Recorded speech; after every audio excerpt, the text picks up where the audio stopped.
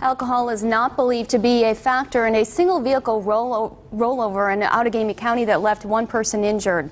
The crash happened on Highway 41 northbound at Richmond Street in Appleton around 6:30 this morning. Police say the driver was taken to the hospital with minor injuries. The crash investigation closed the northbound lanes for several hours. Highway 41 reopened to traffic around 11:30.